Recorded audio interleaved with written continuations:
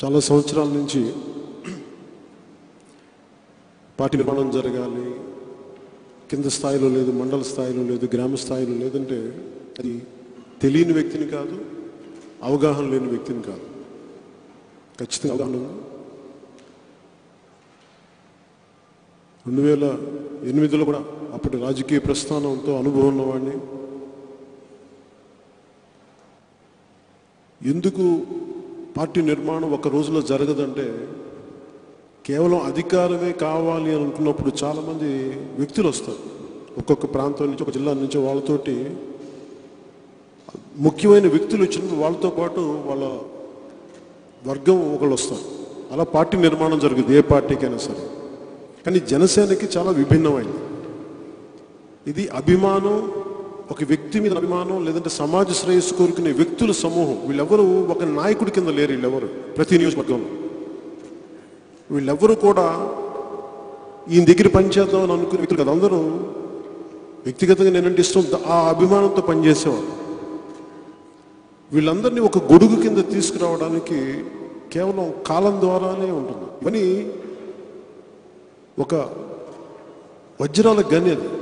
మనం ఏ ఊరికి వెళ్ళినా ఎక్కడికి వెళ్ళినా సరే ఇష్టంతో ప్రేమతోటి పైసా తీసుకో పైసా ఆశించకుండా సొంత డబ్బులు పెట్టుకొని పార్టీని ముందుకు తీసుకెళ్ళే వ్యక్తులు మిగతా పార్టీలో చాలా అరుదుగా ఉంటారు. కానీ మన పార్టీలో కోకోలలుగా ఉంటారు. అంత బలమైన వ్యక్తుల సమూహం ఉండే వాళ్ళందరినీ క్రమబద్ధీకరణ చేయడానికి సమయం తీసుకుంటుంది. ఎందుకంటే వీళ్ళందరూ ఇండివిజువల్ మైండ్స్ వీళ్ళందరూ. వీళ్ళందరినీ ఏకతాటిపైన తీసుకురావడానికి ఒక ఒక కాలం తీసుకురావాలి దాన్ని.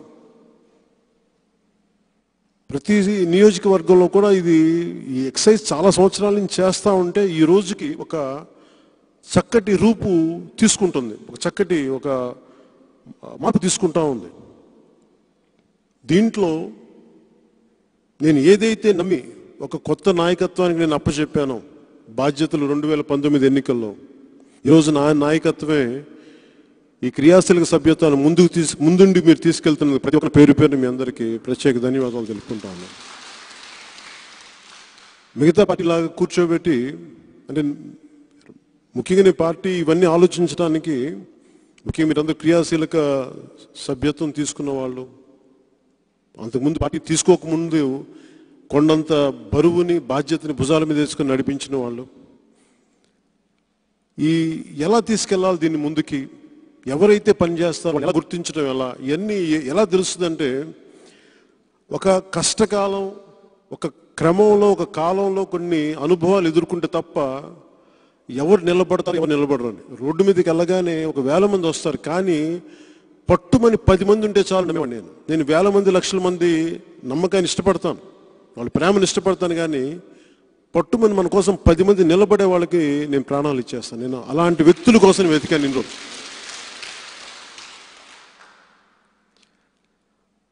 మరి వారందరికి ఎట్లాంటి బాధ్యతలు ఇవ్వాలి? అలాగే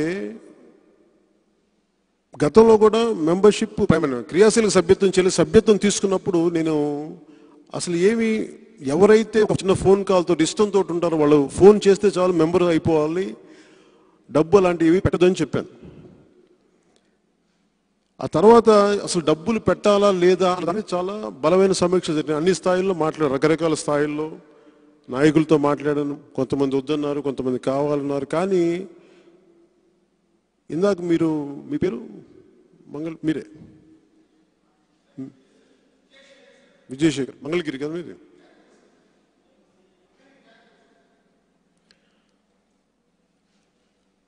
విజయశేఖర్ లాంటి మన వ్యక్తుల దగ్గర నుంచి అలాంటి అభిమానుల దగ్గర నుంచి అలాంటి కార్యకర్తల దగ్గర నుంచి జన సైనికుల దగ్గర నుంచి చాలా ఇన్ఫర్మేషన్ తీసుకున్నాను. పోరాట యాత్రలో నేను ఏ మూలకి వెళ్ళినా సరే ప్రతి జన సైనికుడు ఇష్టపడే ఒక ఏ కూర్చోబెట్టి ఒక పార్టీకి ఒక జెండా కట్టుకొని ఇందాక దా- దాసరాం చెప్పినట్టుగా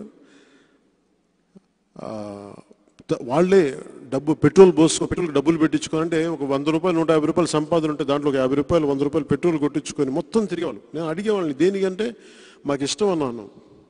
నువ్వు నువ్వు మాట్లాడితే మా మా లోపల గుండెల్లో ఉండే బాధ తీరుద్ది. అందులో మీకు మద్దతు తెలుపుతున్నామని అని చెప్పి తిరుగుతూ ఉన్నాడు అలాగే తోపుడు బండ్ల మీద టిఫిన్ సెంటర్ నడుపుతూ పెద్ద నాయకులు ఎవరు రానప్పటికీ ఎక్కడ కూడా ఖర్చుకి నా జన సైనికులు ఎప్పుడు వెనకాడలేదు. పదో పరకు పాతికో. వాళ్ళందరి దగ్గర నుంచి వాళ్ళు ఏమన్నారంటే చాలామంది దగ్గర మాట్లాడుతూ అలాగే జ- జన సైనికుల దగ్గర తీసుకుంది. వాళ్ళు ఇంకా ఎక్కువ అన్నారు. అలా కాదని చెప్పి మాట్లాడుతూ ఇంకొద్ది మంది ముఖ్యంగా జ జనసేనకి ఉన్న కొంతమంది ఉద్యమాల్లో పనిచేసిన వ్య- వ్యక్తుల దగ్గర నుంచి కానీ నాయకుల దగ్గర నుంచి కానీ వాళ్ళ దగ్గర నుంచి స్ఫూర్తి తీసుకొని చేసాం అయితే. కాంశీరామ్ గారి నుంచి స్ఫూర్తి తీసుకొని చేసాం. దళిత ఉద్యమాల నుంచి స్ఫూర్తి తీసుకొని ఈ క్రియాశీలక సభ్యత్వం తీసుకుని. ఎట్లా అంటే ఒక వ్యవస్థని నడపడానికి పెట్టుబడి మన ఎవ్వరి మీద ఆధారపడకుండా మన పార్టీని మనమే నడుపుకోగలిగితే సత్తా గారు మనకుండా అది ఏమవుద్ది? ఇప్పుడు కూర్చోబెట్టి ఈ క్రియాశీలక సభ్యత్వం మీద వచ్చిన డబ్బు తీసుకెళ్ళి పార్టీ నడపలేం సరిపోవు ఆ డబ్బులు. కానీ ఆ డబ్బు దేనికి విశ్వాసం ఇస్తుంటే నేను దీంట్లో భాగస్వామిని. ఇందాక మనుక్రాంత్ గారు చెప్పినట్టుగా ఒక ఆటో నడుపుకుంటూ వంద రూపాయలు నూట యాభై రూపాయలు వచ్చినప్పుడల్లా ఇచ్చుకుంటుంది ఏంటంటే ఇది నా పార్టీ ఇది. నేనున్నాను ఎందుకంటే తన భాగస్వామి అవుతాడు. రేపు పోరాటం చేయడానికి నేను గుర్తించాను నా భాగస్వామ్యం. పోరాటం చేసి రోడ్డు మీదకి వచ్చి తనకు ఆటో డ్రైవరే కావచ్చు కానీ కడుపు మండితే ఒక భగత్ సింగ్ లాంటి ఒక గొప్ప వ్యక్తి అయిపోతాడు. ఆ పెట్టుబడి ఆత్మవిశ్వాసం తాలూకు ఆత్మవిశ్వాసానికి బలమైన పెట్టుబడి. ఏ మూలకెళ్ళినా కానీ వీళ్ళందరూ ఇలాంటి వ్యక్తులు నడిపి ఈ రోజున క్రియాశీల సభ్యత్వాన్ని చాలా విజయవంతంగా నేను ఎక్కువ చేయ మనోహర్ గారితో మాట్లాడుతున్నప్పుడు ఎక్కువ చేయొద్దు. మనం తక్కువ నియోజకవర్గాలు చేద్దామని ఆయన సూచిస్తే కరెక్ట్గా ఐదు నియోజకవర్గాలతో ప్రారంభించి ఇప్పుడు తదుపరి ఫేజ్ ఇప్పుడు నెక్స్ట్ ఫేజ్ కొద్ది రోజుల్లో ఉంటుంది.